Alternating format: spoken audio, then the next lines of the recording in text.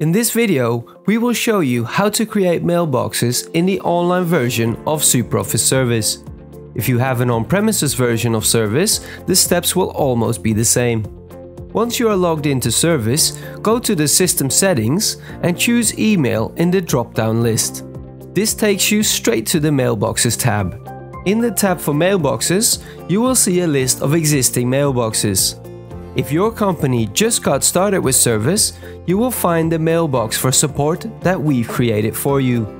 To create a new mailbox, click on the New Mailbox button. In the Mailbox Properties screen, you will need to fill out a few fields.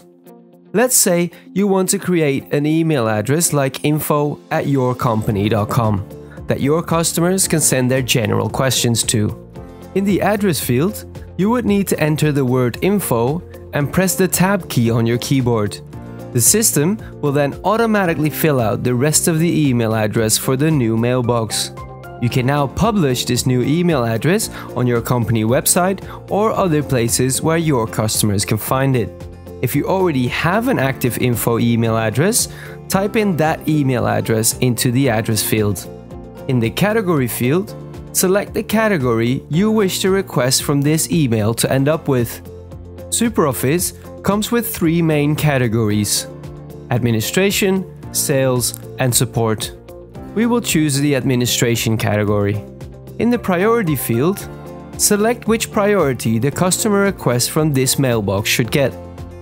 We recommend to leave the Do Not Reply option unchecked, as this will disable the auto reply function. By default, auto replies include a courtesy message and a unique tracking number. In the field Reply Template for Reply to Contact, select which reply template to use when auto-replying to the customer. This time, we will just use the standard one. Click OK to create your mailbox. If you choose to use an existing email address, you need to set up that email account to forward all emails to the mailbox.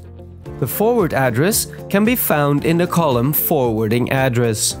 A rule of thumb for mailboxes is that you should have one category per mailbox. This will help you route your inquiries and get better control. We have now shown you how to create mailboxes in SuperOffice Service. For more help, please go to our community site or to the help menu in SuperOffice.